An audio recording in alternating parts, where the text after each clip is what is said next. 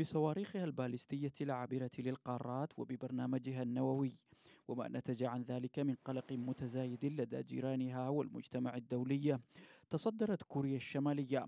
أجندة المجتمعين في منتدى أمني سنوي عقد في سنغافورة. وإلى جانب فرض مزيد من العقوبات الاقتصادية الدولية على بيونغ يانغ تبذل إدارة الرئيس الأمريكي دونالد ترامب جهودا دبلوماسية مع الصين.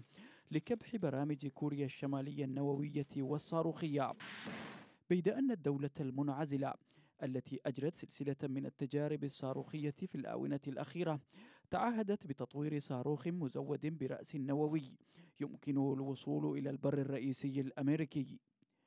ووصف وزير الدفاع الأمريكي جيم ماتس التهديد الذي تشكله كوريا الشمالية تجاه جيرانها وكل العالم بالواضح والقائم على حد تعبيره.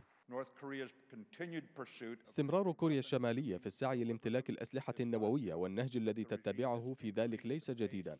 فقد زاد النظام من وتيرة جهوده ونطاقها. وإلى جانب تصريحات متهورة فإن برنامج كوريا الشمالية الحالي يظهر نية واضحة للحصول على صواريخ بالستية من الأسلحة النووية بما في ذلك القذائف العابرة للقارات. التي تشكل تهديدا مباشرا وفوريا لحلفائنا الإقليميين وشركائنا وكل العالم.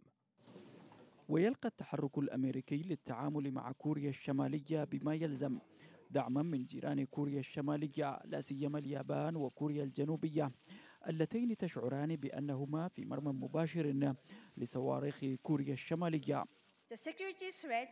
التهديد الأمني الذي تشكله كوريا الشمالية على المنطقة وخارجها دخل الآن مرحلة جديدة.